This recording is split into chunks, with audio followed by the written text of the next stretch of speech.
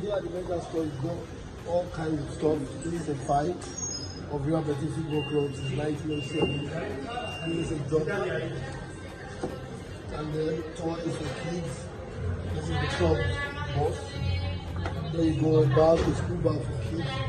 And of course, for those who love red wine, Real Betis official wine, 13 euros. So, the club is embedded in, in the lives of the people.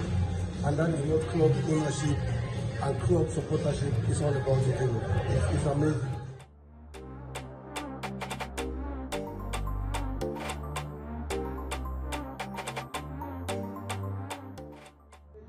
George is still very present here in Real Betis Football the mega store, and that is the man, George Finidi. They love him in Betis.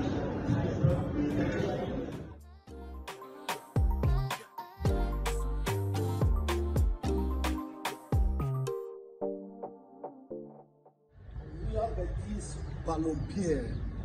This is the stadium of Real Betis Football Club, the club of former Nigerian international Finidi George. He played here for so many years, scored a lot of goals, and became famous for a very beautiful celebration where he took off his hat and then just basically threw it somewhere on the pitch. Finidi George is a household name in this city, and we have been in Sevilla finding out from fans of Real Betis Football Club how much Finidi played a part in the success of this club, Real Betis Football Club, based in the city of Sevilla. For those who may not know, Real Betis is based in Sevilla, and that is why whenever Real Betis plays in Sevilla, it's a very big derby.